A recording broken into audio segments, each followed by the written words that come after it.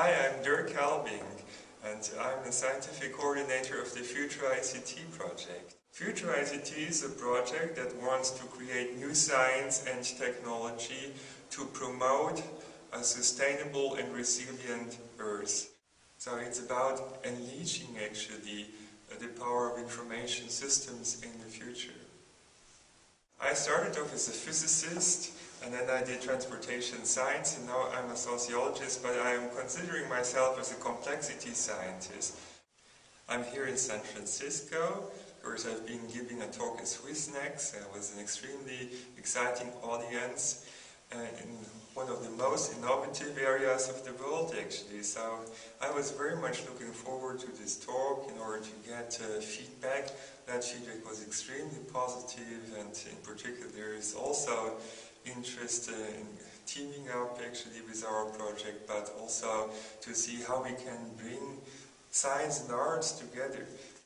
We are now entering the age of big data and at the same time an age of hyperconnectivity.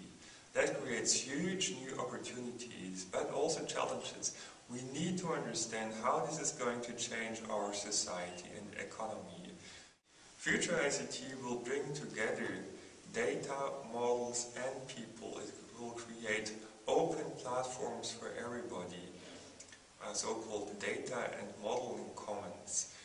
The plan of the project is not to collect as many data that we can get and then to create a supercomputer that's going to rule the world and take decisions for us.